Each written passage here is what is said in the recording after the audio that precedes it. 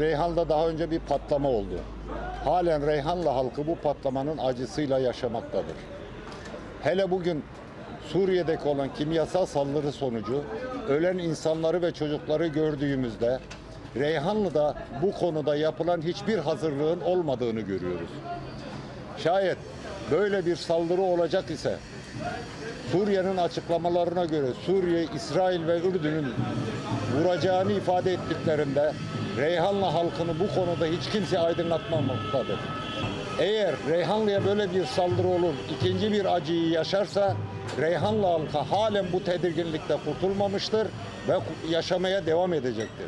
Bunun için devletin ne gibi hazırlıklar yaptığı konusunda Reyhanlı halkını bilgilendirmek ve Reyhanlı halkına psikolojik destek verme ihtiyacını duymaktadır. Reyhanlı halkı bugün huzursuz yaşamaktadır.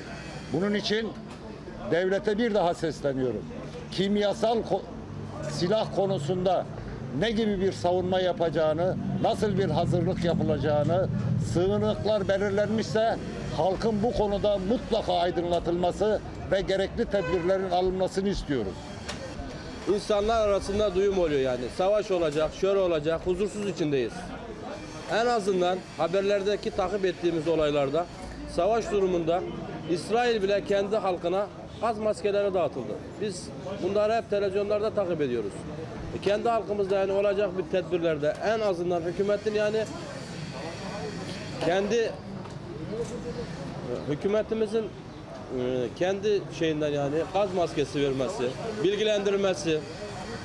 Yani bize en azından yani bilgi vermesi lazım. Çünkü sınır e, çepesinde yaşadığımız için yani huzursuzluk. Ee, savaş noktasında da savaşın savaşın kazananı e, olmaz.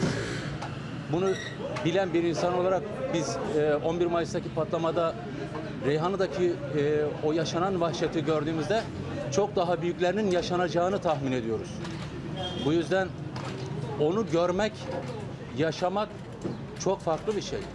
Savaş eğer buraya bu- buraya sıçrayacaksa öncelikle burada oturanlara sorulmalı bence. Ne dersiniz diye. Bu işler o kadar basit değil. Biz dediğim gibi parçalanmış vücutları 11 Mayıs'ta ilk defa gördük maalesef.